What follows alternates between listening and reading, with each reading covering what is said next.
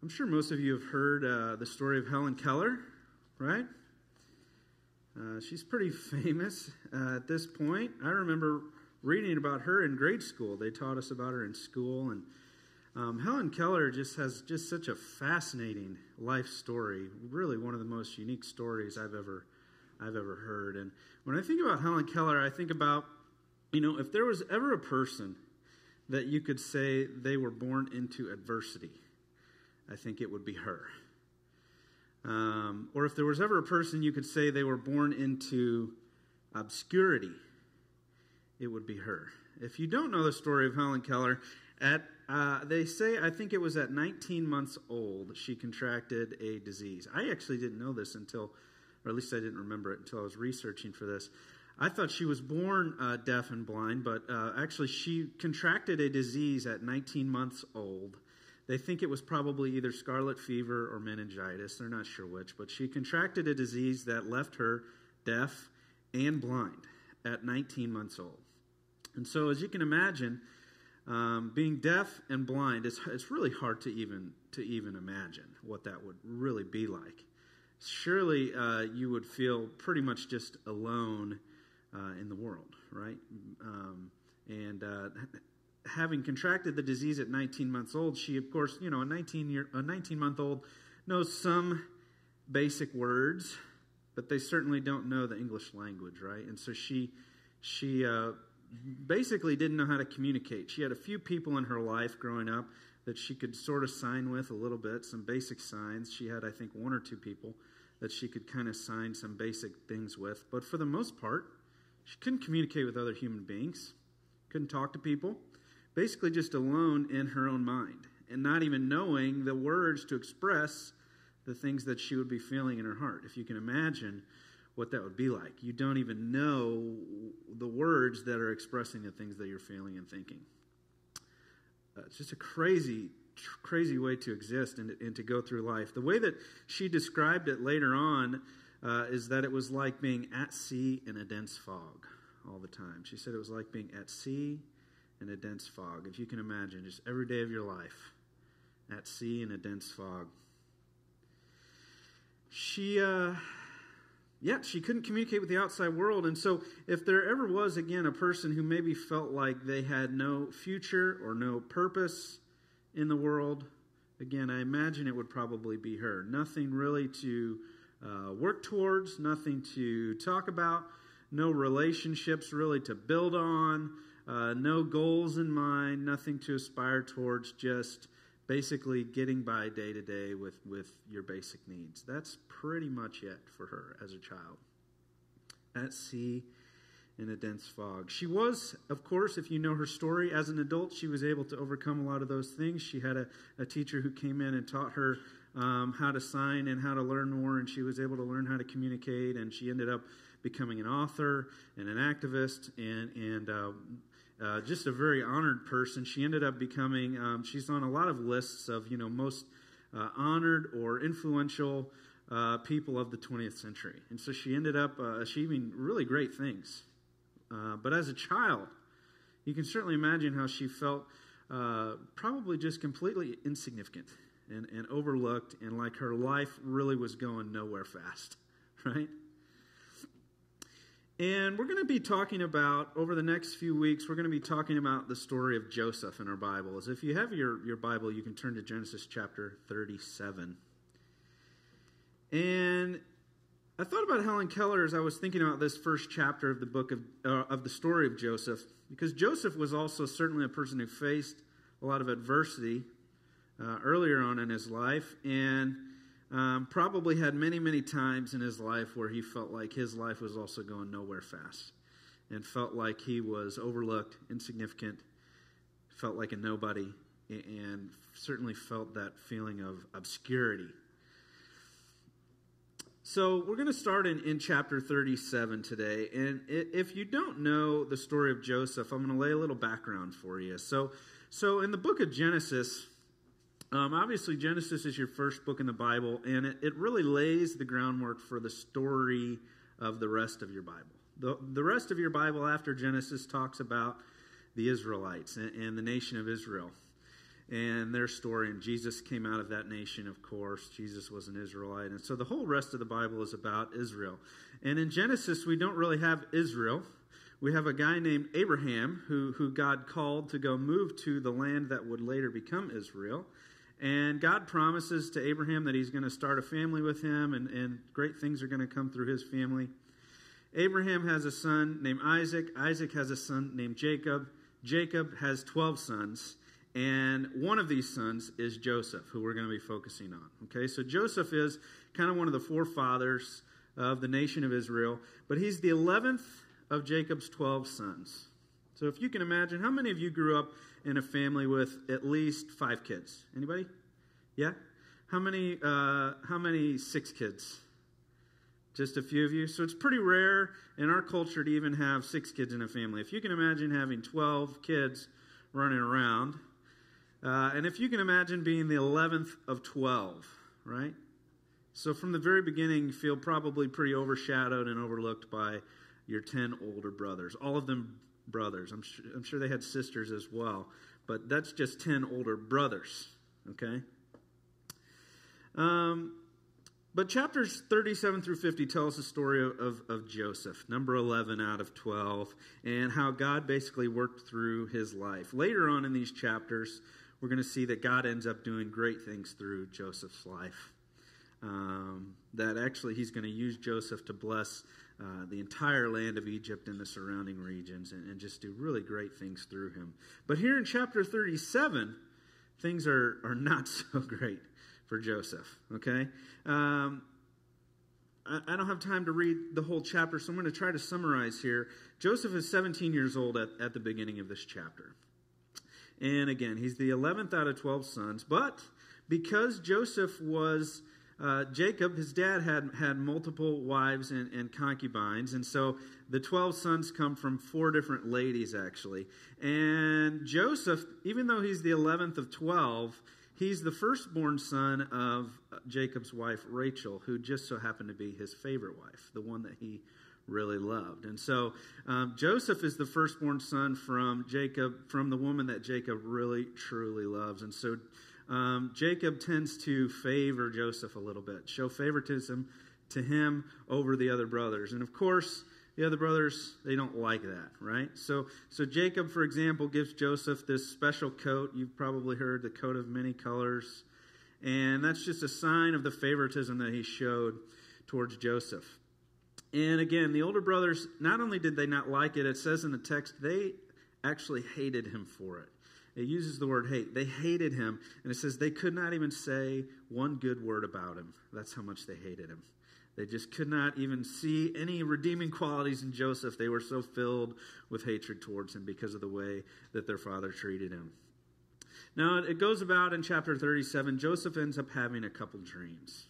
And in one dream, it says, uh, he told his brothers, Listen to this dream I had. We were binding sheaves of grain out in the field when suddenly my sheaf rose and stood upright, while your sheaves gathered around mine and bowed down to it.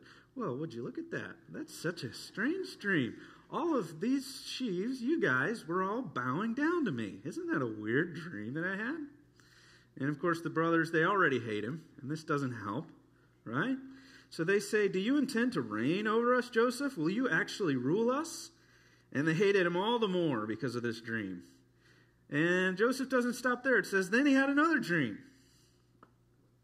And he told it to his brothers again. Listen, he said, I had another dream, and this time the sun and the moon and 11 stars, again, were bowing down to me. And when he told his father this, as well as his brothers, his father rebuked him and said, What is this dream you had? Even his father is rebuking him at this point. Will your mother and I and your brothers actually come and bow down to the ground before you? And it says his brothers were jealous of him, but his father kept the matter in mind. We will see by the end of the story that this, this dream sort of uh, is a, a bit of a prophecy for Joseph, that this does end up coming true in a sense, that his brothers do end up relying on him by the end of the story, um, and, and pretty much falling to his knees and falling to his feet. But we're not there yet. In chapter 37, all we know is that his brothers are, are very, very angry with him. And so he has these dreams, and he makes the mistake of telling his brothers about these dreams. And so his brothers, they hate him even more now. And so what they do is they say, you know what? We've had enough of Joseph, little Joey. We're, we're gonna we're gonna, just gonna get rid of this guy. We, we hate him. He, he's no good. Dad loves him more than us. He's having these dreams. We're just gonna kill him. Is what they decide. Let's just throw him in this pit and then we'll kill him and, and we'll tell dad that this some animal devoured him or something like that. The oldest brother, Reuben, he kind of sticks up for Joseph. Reuben says, No, no, no, guys, let's not kill him. Um, let's just throw him in this pit and then we'll decide we'll decide what to do with him later. And Reuben's planning on leaving him in this pit and then coming back later to save him, is what the text says. So, so Reuben talks the brothers into doing this. Reuben leaves, but before he gets back, before he has a chance to come back and save Joseph, the brothers have already uh, done the evil. They didn't kill him, but they decided, you know what? Here comes some Midianite merchants. Let's just sell him into slavery. If we kill him, we're not going to make a profit off of it. We might as well make a profit off of this, right? So they sell their brother into slavery, which I know that we say that a lot about Joseph, but it's hard to really fathom that idea, isn't it? Selling your own brother into slavery. It is hard to imagine the hate that would have to be in your heart for someone to do that to your own brother. And so they sell their brother into slavery. They take the coat that their father gave Joseph. They, they put some blood on it and they say, Look, Dad, this, this animal devoured Joseph. And uh, so, as far as, as dad knows, as far as Jacob knows, Joseph is dead. And so, Joseph, pretty much just an ordinary guy, right? Uh, it's not really his fault that his dad favored him. It's not his fault that he was having these dreams. Um, pretty much just an ordinary 17 year old guy who uh, sort of fell into some unfortunate circumstances, really.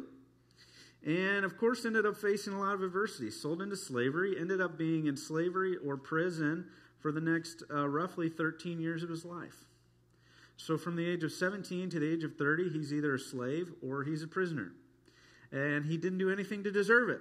That's the sad thing about it. He had done absolutely nothing to deserve uh, the cards that were dealt to him. He just faced uh, adversity, uncommon amounts of adversity.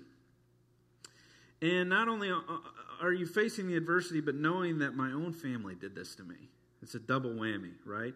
Not only am I a slave, but even my own family hates me. There is, you can imagine Joseph had times where he felt like there is no one in the world who cares about me. I'm a, I'm a nobody. My life is going nowhere fast. And probably had those thoughts for probably the majority of about 13 years. And in the eyes of the world, he really was pretty much a nobody, right? A slave, in the eyes of the world, is worth nothing, basically. His brothers sold him for 20 shekels of silver, which is about eight ounces of silver. That's what they got for him. But that's pretty much what he's worth uh, to, to the world. And so Joseph is a nobody, and he certainly feels like a nobody at this point. And maybe he even had thoughts over those next 13 years wondering where God was in this equation, right? Where is God? Why is God not coming to help me? Why, why have these things happened to me? Sort of like the story of Job, right? I have done nothing to deserve these things. Why, why, why have I been dealt these terrible cards? I've done nothing to deserve this. Where is God? Why is God not helping me? Has God abandoned me? Certainly, those thoughts had to cross Joseph's mind at some point in these 13 years. But we see, again, by the end of the story, we will see that God did have a plan for Joseph's life. Whether Joseph realized it at the time or not, God did have a plan for his life. Hopefully, none of you have ever been sold into slavery by your siblings, uh, but we've all had low points in life, haven't we? We've all had times where we had these same thoughts and feelings. Why is this happening to me? What have I done to deserve these things? Or maybe the thoughts of, is there anybody in the world who cares about me? Would anyone even notice if I wasn't here? These feelings of being a nobody, these feelings like your life is insignificant, like like your life is, is going nowhere. I think we've all had those moments, haven't we? And it can be tempting sometimes to think like this. You know, you think about the fact that, I mean, there's seven, over seven billion people in the world. You know, who's going to notice if I'm gone? The world will continue going on, right? I'm, relatively speaking, I'm pretty insignificant in the eyes of the world. We talked a few weeks ago about how teens today and children today are feeling more lonely and more isolated than ever. And we know that these are things that are, these are thoughts that are becoming more and more common in our culture, even more than they used to be. This idea, this feeling that nobody cares about me. If I take my life, nobody's even going to care. Even, even my parents or my siblings won't even care. And that's why suicide rates are just are just skyrocketing. They're just going out the roof because more and more kids feeling more and more lonely than ever. They're on the internet and they see all these amazing things happening, all these crazy things, and they say, Well, I'm never going to do any of those things. Or they see all their friends getting all this attention on the internet, and they say, Well, I'm not getting that attention. Right? And this is kind of the, the culture that these kids are being brought up into. And so they sit at home feeling like nobody cares. Granted, not every kid feels like that. I'm not trying to paint, uh, you know, a picture that every child in the world is feeling like that. But it's again, it's becoming more and more common, unfortunately. But the story of Joseph is just so great because it reminds us that even when you're going through these difficult times, even when you're feeling like a nobody, when you feel like you're insignificant, we know that the reality is God actually does value you. That you're not a nobody, that in God's eyes you actually are a somebody, and that God actually does have a plan for your life. Even though it may not seem like it right now, God does have a plan for you. The story of Joseph reminds us, first of all, that God has a plan for our lives in spite of our upbringing. In spite of our upbringing, God has a plan for our lives. Some of us feel like our life got off track, like we lost our chance at success before we even had a chance to get started. Some of us are born into just very unfortunate circumstances. Again, like jo- Joseph, the 11th of 12 brothers, favored by his father, hated by his brothers. He was just given a bad lot, right? Um, born into just poor circumstances. And a lot of us go through the same thing. We're born into a family that doesn't treat us well. right? We're born into a family where we feel uh, like, you know what, I, am a nobody in my family. Nobody cares about me. My teachers don't care about me. My f- people at school don't care about me. I have no chance of success just because of the situation I was born into. Um, maybe our family treats us poorly. Maybe we're picked on at school as a kid. Some people are literally held down by their circumstances. I, I think about kids in the foster care system. I'm starting to learn more about that now, working with Christian Family Services. And I think about kids in the foster care system, kids who are just passed around from house to house their whole childhood, just wondering, you know, is there anyone who really, really cares? Right? They're just passing me around like this guy doesn't want me, this guy doesn't want me. Can you imagine the type of of, of life that would that would be as a child? I've seen kids who are neglected by their parents, kids who um, they, they don't get the education they need because their parents don't give them the time at home. Um, they don't get the nourishment that they need because their parents aren't, aren't feeding them well. They're not getting the social skills they need because their parents don't let them out of the house. And, and again, it's like they never even had a chance to succeed. A lot of, a lot of people. And this is, again, sort of the situation that Joseph is thrown in here. He's a young man with a lot of talents and promises we learn later on, but his brothers took any chance of success that he thought he had and they, they literally just ripped it away from him. And that's the way chapter 37 ends. If the story of Joseph ended here, it would be a very sad story. chapter 37 ends with basically no hope. Any chance that, that Joseph had in life was taken away from him here. But again, we see at the end of the story, God tends to uh, change things. God has different plans for Joseph. So we are encouraged by the story of Joseph that, yes, maybe our family or our circumstances held us back, held us down, um, and, and, made life very difficult for you.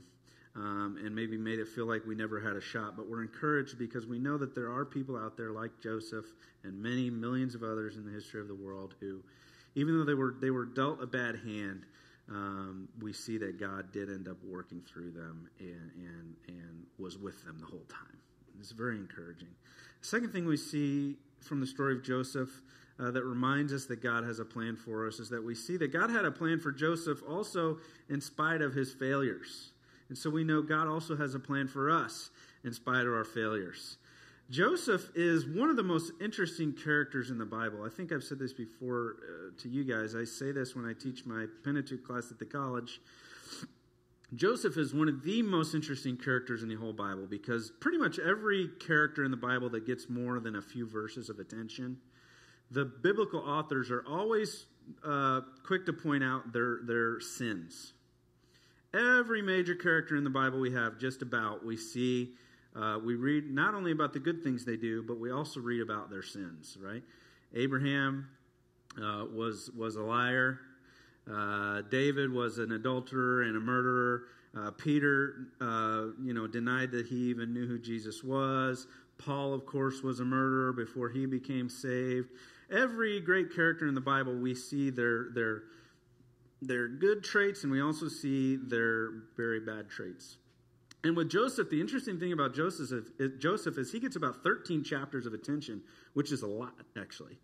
More than the majority of other characters in the Bible. 13 chapters is a lot. And it never actually tells us a specific sin that Joseph committed. You could say that he made some mistakes, some things that he could have done better, could have made some wiser choices. For example, telling his brother about these dreams was not the wisest choice ever, right? It was pretty naive and, and stupid, if we're being honest. But it's not a sin, right? And the interesting thing about Joseph is it doesn't tell us about any sin that he committed. Now, of course, it's not to say he didn't sin. Of course, he did. But we have to ask ourselves why does the biblical author choose not to tell us about Joseph's sins? And I think it's to show us that, hey, this person is a person who sets a really good example for us. And we need, when we read the story of Joseph, we need to really perk up and pay attention to what's what he's doing because um, the biblical author is telling us this person you need to live by his example. And so Joseph is just a great character for us to follow, but he did make some mistakes. Again, he told his brothers about these dreams. He knew his brothers already hated him, and he chose to sort of mm, maybe rub it in a little bit, right? Hey, check out these dreams I'm having. You guys are going to bow down to me one day. How do you feel about that? Right? And so his uh, circumstances, you could say, uh, were not his fault, but in another way, you could say, well, he kind of put himself in that situation a little bit as well, right? And that's the case for many of us. Maybe we weren't born into a family that, you know, neglected us or abused us. Maybe we weren't bullied in school. Maybe we had a pretty relatively easy childhood. But we made some poor mistakes along the way. We made some poor decisions that led to some hard times. And maybe we feel like our life has gotten off track because of our own failures, our own sins, our own uh, poor decisions. And yeah, I mean, that happens, right? Uh, it is oftentimes our, our own poor decisions that lead to the difficult times in life. There's no, there's no denying that. But again, the story of Joseph is proof that God can work in and through our lives in spite of our failures. God worked through Joseph's poor situation to bring about good in the world by the end of the story. We're going to get to that part later on. And so, yes, things might be hard right now. Um, we're not saying life is, is not hard, but the idea that we see from Joseph is that you have no idea what God holds in your future, right? You have absolutely no idea what God has in store for you. And with God, the great thing is that our past, with Jesus, our past does not have to dictate our future. And I think that's one of the things that we learn from Joseph as well. Our past does not have to dictate our future. We learn, we read all in the New Testament about when Jesus comes in and, and forgives us of our sins, forgives us of our mistakes, um, forgives us of our past he wipes it clean. It's not like he says, Well, I forgive you, but I'm not going to forget about that. I'm going to remember those things you did. Actually, it's quite the opposite. What the Bible says about what Jesus does for us and what God does for us is that when He forgives our sins, He wipes them clean. He erases them from His memory. It says in Hebrews chapter 10, uh, verse 17, he, uh, the, the author of Hebrews is quoting Jeremiah. It says, Their sins and lawless acts I will remember no more. The Bible makes it clear when God forgives us, those past mistakes we made are gone. It's like they never happened. And so our past does not have to dictate our future with the Lord. And not only that, but he makes a lot of promises for our future as well, which we're going to talk about. A third thing we learned from the story of Joseph about how God has a plan for us is we see that God has a plan for us in spite of our current obstacles as well. Not just in spite of maybe the upbringing we had, not just in spite of the past decisions that we made, but God has a plan for you right now. Even though you might be currently experiencing the hardest time of your life, you can be encouraged that God does have a plan for you, even though it may not seem like it right now. Some of us in this room today are going through a hard time. Some of us are struggling uh, in our marriage. Some of us are struggling at work. Some of us battle um, things like anxiety and, depression. Some of us um, uh, maybe have things going on in our family that are that are really weighing us down. Maybe you've had trouble keeping a steady job, or maybe your boss hates you, or maybe you don't get along with your coworkers. Whatever it is, stress, right? Things in life bring us down. Um, but whatever it is, again, sometimes it's hard to, in the midst of the hard times, it's hard to see where God is at work in our lives, isn't it? It's just hard to see um, how could God possibly be involved in my life? Look at all the bad things that are happening right now. Um, and it's just hard to see how can God have a plan for me with the way things are going right now. But again, we see in the story of Joseph, I mean, if you want to talk about facing obstacles, I mean, I've faced some obstacles, but I've never faced anything like what Joseph faced. And again, we see that, you know what? God was actually there the whole time. And God did have a very specific plan for Joseph. Verse 36, we'll read verse 36 in this chapter. It says, after he was sold into slavery, it says, Meanwhile, the Midianites sold Joseph in Egypt to Potiphar, one of Pharaoh's officials, the captain of the guard. And so we kind of start to see the beginning of God's plan for Joseph in this verse. He's sold to a man named Potiphar. Potiphar ends up throwing him in prison. In prison, Joseph ends up meeting a couple guys who work for Pharaoh. Through these guys, he ends up meeting Pharaoh himself. Through Pharaoh, he ends up getting a new job in which God uses him to do great things. And so the seed is planted here in this chapter that, hey, things are about as bad as they can get for Joseph right now, but guess what? God is working in his life, whether he realizes it or not. And so what I'm not saying is that if you haven't faith that if you have faith in God that that all your wildest dreams are going to come true. I'm not saying that. Joseph does end up becoming this powerful, prominent man in, in Egypt. I'm not saying that, you know, hey, God's going to make you the next president of the United States or you're going to sell a million records of the the the uh, rock album that you just wrote or whatever it is. I'm not saying you're going to become a millionaire if you have faith in God. The Bible doesn't say that, but it does say that um, you are not insignificant. You are not a nobody. You are not a person whose life is going nowhere. In fact, the Bible says, in God, you are a somebody. He values you, He loves you, He cares for you. You are His child, and He wants good things for you. Let me go ahead and pray, and the band can come on up. Lord, uh, I don't know what everyone in this room is going through today. Some of us are are uh, feeling good today, and some of us are are really struggling right now in life. And um, some of us, we tend to keep things private. We don't like to tell others what's going on. But I know that there are people in this room today who are hurting. And I know that there are people in this room today who are wondering where you're at and, and how could these things be happening um, if you have their best interest in mind. And so we just ask that you will help us to um, be able to learn from your word and from your spirit that you really are with us, that you really do love us that you really do value us, and that uh, we do have a future with you. We ask that you will convict us of these things and help us to believe these things in our hearts. We ask this in Jesus' name. Amen. And so the million dollar question is this, I guess. What is God's plan for me, right? You, you may be asking, well, you keep saying that I have a future, that God has a plan for me. What's it going to be, right? Well, we don't know. We never know the answer to that question, unfortunately. It would be nice if we knew exactly what God had in store for us.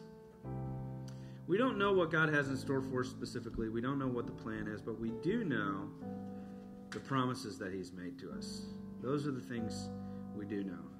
Hebrews 10, chapter 36 says, You need to persevere so that when you have done the will of God, you will receive what He has promised. So, in the hard times when it seems like our life is going nowhere, we need to continue to persevere so that we can receive the promises of God. Well, what are the promises of God? What are these things that I should be persevering for? First of all, God promises forgiveness. We talked about that. God promises that your past doesn't have anything doesn't have to have anything to do with your future. Through Christ, you can be forgiven of all the stupid things you've ever done, believe it or not. Through Christ, every sin you've ever committed, every time you've been disobedient to the Lord, He wipes it all clean from the record. That's one of the promises He makes. Another promise he makes is that we'll be in his family. We become children of God. We become his sons and daughters. And there are a lot of great benefits that come from that. We know, again, as children of God, maybe things are tough right now, but at least we know that the Lord loves us because we are his child. And that can be incredibly comforting. That's another promise he makes is that we, are, we will be part of his family. And, and the last promise that he makes is that we do have a future with him. Things may always be hard for you in this life, actually. The Bible never says that this life will not be hard. Some of us will have struggles and, and, and pains uh, uh, nonstop until we die. That's, that's just, unfortunately, that's the truth. Some of us are going to struggle in this life. But God does promise that you do have a future with me, even if things are hard right now. One day, one day, we will be with Him in eternity, living in perfection, free of pain and free of struggle. These are the promises of God, guys forgiveness, family, and a future. And so, again, I, I, I just want to encourage you to think this morning about, you know, how can I be comfortable in the fact that even though it seems like I've been dealt a bad hand, or even though I feel insignificant, I feel like my uh, my life is is is is going nowhere. How can I come to a point where I am comfortable in knowing that God has a plan for my life and that I am actually a valuable child of God? If you've never come to that point in your life, if you've never come to a point where um, you've asked the Lord to forgive you of, of your past mistakes. If you've never come to a point where you've asked the Lord um, to bring you into His family and to and to give you these promises for the future, I would just love to talk to you about that today. There's no better decision you could ever make um, than to ask the Lord to do those things for you. So I'll be in the back of the room during this next song. If you want to talk about that, please don't hesitate. If you need prayer for anything else that's going on, again, some of you, I know, I know, some of you are going through some hard times right now, and you're just you're you're you're kind of private, you're kind of quiet, you don't like telling people about it. Well, listen, guys, that's what the church is here for. Okay, so please don't hesitate. Come pray with us um, about anything that's going on in your life today. Why don't you guys stand and we'll sing this next song.